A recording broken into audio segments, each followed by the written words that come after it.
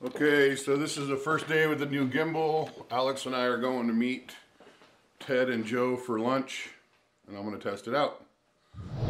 Come, come, come on.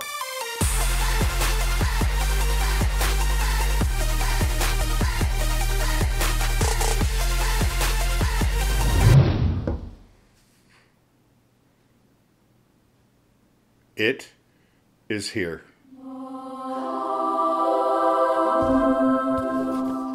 The Zhiyun Weebill S. And I am so stoked. I have such an awesome son. I would do a total unboxing of this for you.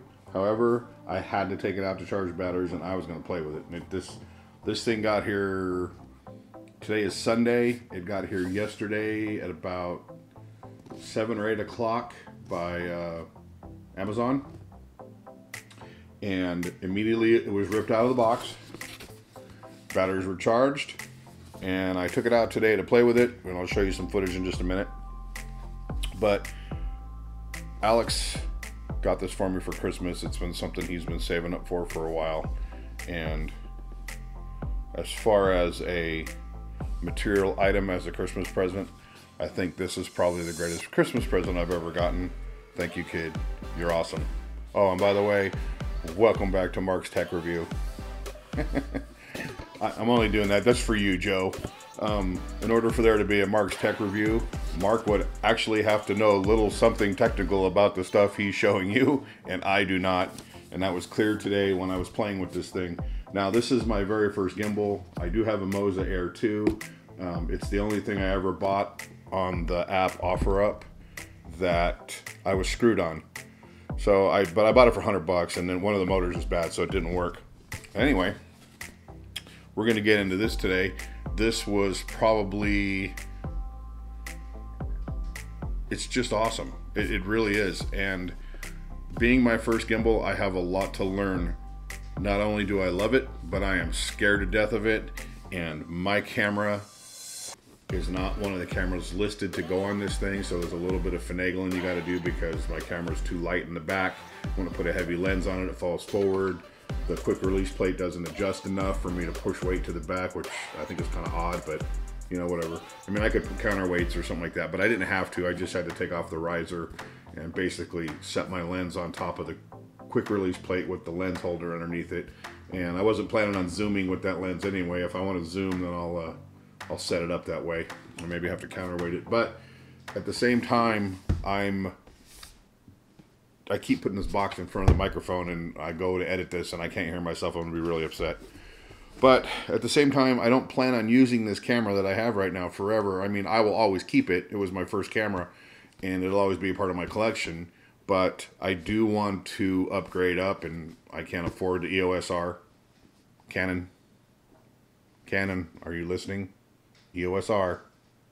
Anyway, I can't even afford the 90D, so I'm looking to upgrade to an 80D. Who knows? Maybe my channel will balloon out of control this year, and and um, I can get some monetization or something and buy a camera. Because when I finally get to that point, and who knows when that's going to be, anything that this channel generates as far as revenue will go into the channel. So, but anyway, um, let's get on with this.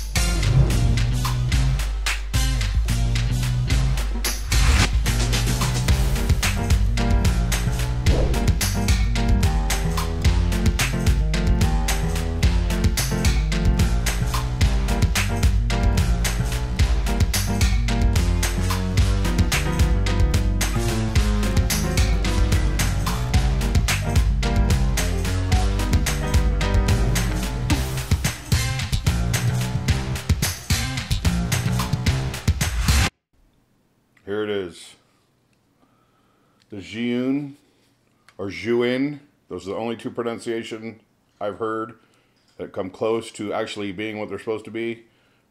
From what I understand, from Potato Jet, it's actually called Zhuin. So that's what I'm going to say. The Zhuin Weebill S.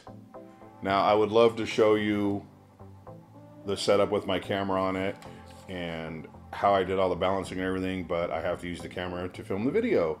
So sorry about that.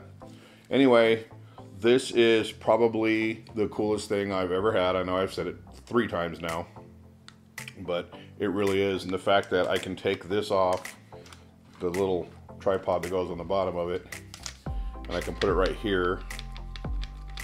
And with my camera on the gimbal, I can do underslung mode and put it down and film from low on the ground. And it has, I don't just have to use this. With the brand new tripod I got, I can screw that into the bottom and have two handles. Or you can just use this handle. And even though it has all the buttons and stuff that I have pushed while I was trying to use the gimbal and, and set it all weird and wonky, you can lock those so that you can hold it and accidentally bump them without screwing up any of your settings.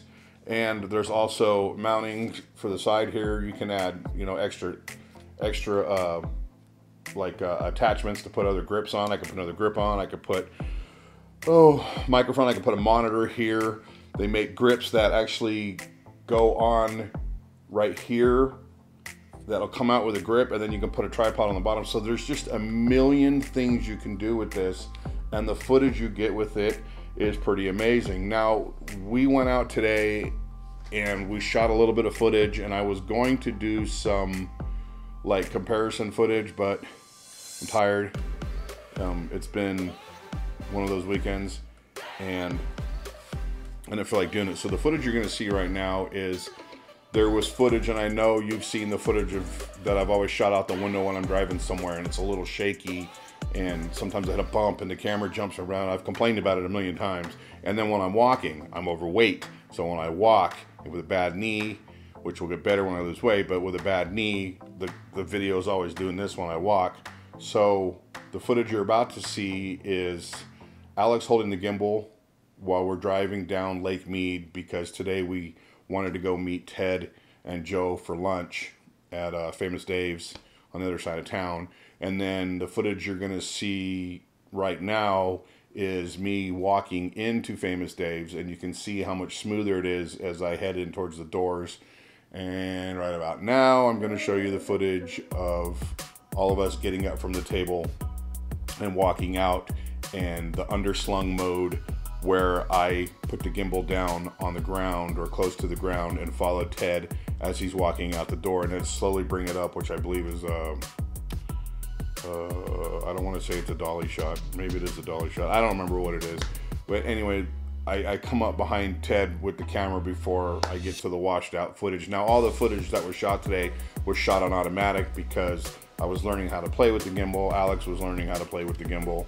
And I didn't want to deal with camera settings and all that stuff while I was screwing around with the gimbal. It's funny because as I talk to you, I'm watching Ted right now and Jake Mogstad is standing behind him. Both great YouTubers, and you should be following them. Their links are in my description. Um, you should have followed them a long time ago. Any case, this was an amazing gift. It is something for me to step up my game in shooting videos. And if you're a YouTuber and you can afford one of these, I suggest you get one. This is this is a badass little toy, man. I just you have no idea. Anyway, Thanks for watching this, I don't know, five, six minute video, if it's even that long. Make sure you click the subscribe button and the bell notification so you know next time I upload a video. Throw me a like, people. Doesn't hurt. Throw a like. Leave a comment. Let me know what you think. I'll see you next time on Mark's Tech Review.